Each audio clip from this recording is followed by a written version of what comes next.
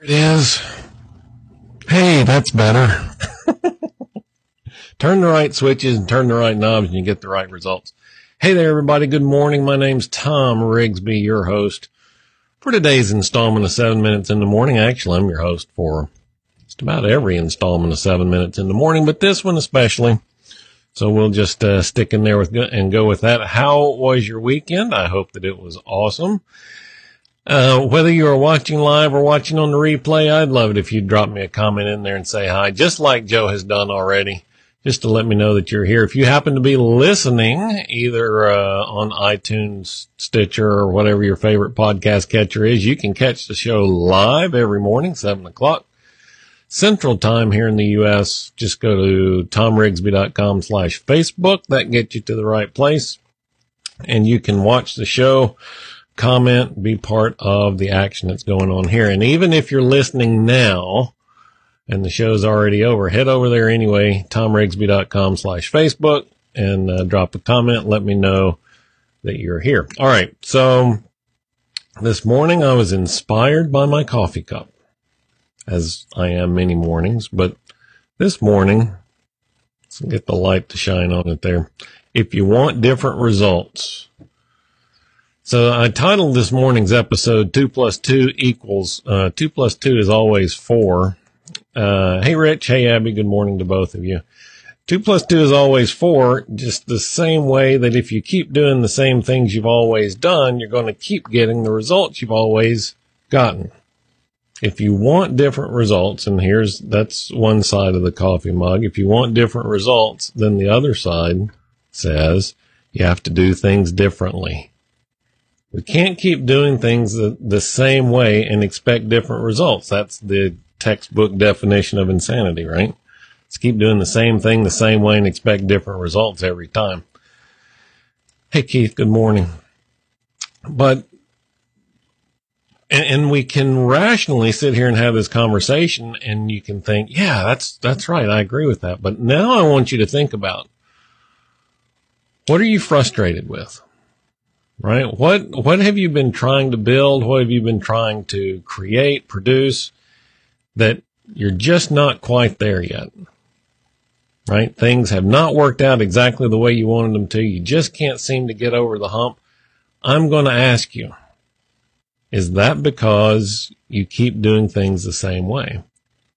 And this is especially tough for us when we've had some measure of success already, right? Because here's a little bit of a visual for you, but you know, we, we work really hard and we get up to this level of success and it just seems like we keep bumping our head into that glass ceiling almost. We can't really figure out how to break through that and get beyond that.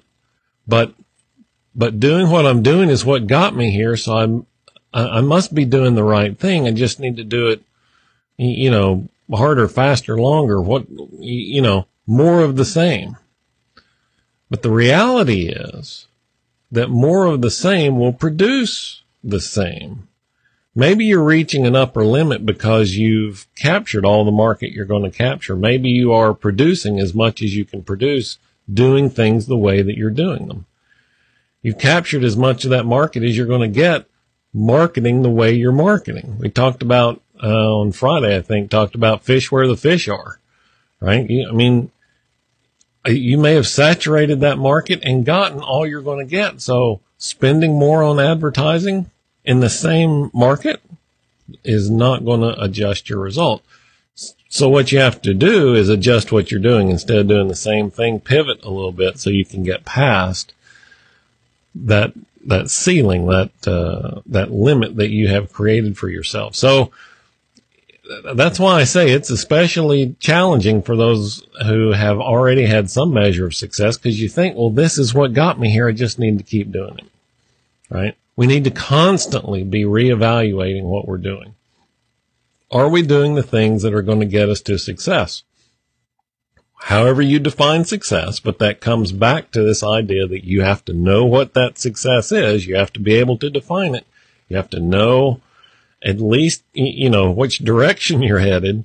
And then you make these fine adjustments along the way. That's, that's there's no shame in that. I mean, lots of people w- will, will object to making these kinds of changes because, well, that's not my, that's not in my plan. Well, change your plan. It's your plan. Change it. You didn't have to carve it into granite, did you? Well, maybe you did. And if you did, get a new piece of granite. Don't hold so fast. Don't be so dogmatic to the plan that you can't adjust to reach your success.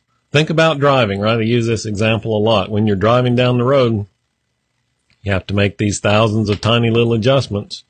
Otherwise, you wind up in a ditch somewhere. Well, it's the same with your journey towards success. You know generally the direction that you're going to go, maybe even some of the big turns that you need to make, but these thousands of tiny little adjustments, changing lanes, going around stalled cars, taking a detour when, you know, there's an accident, all those things happen. Don't, don't get don't get don't don't be holding on so tightly to the plan that I have to go this way that it prevents you from getting where you're trying to go. All right. So two plus two always equals four. And if you keep doing the same things you've been doing, you're always going to get the results you're getting right now. That's it. That's the message for today. I hope that's been helpful. If you know somebody else who could benefit from joining in our conversations, I would appreciate it tremendously. And so would they. If you will uh, like and share this video with your network, maybe even put it in their timeline or send it to them in Messenger, just so they can uh, be sure to get it. If you are out on one of the podcast catchers, uh, I appreciate you being here also. Come over to Facebook, join the conversation with us every morning. It's thomrigsby.com slash Facebook. And that's it. I think that's it for today. You guys have a fantastic Monday. We'll be back again tomorrow with another brand new installment of seven minutes in the morning. Guys, take care.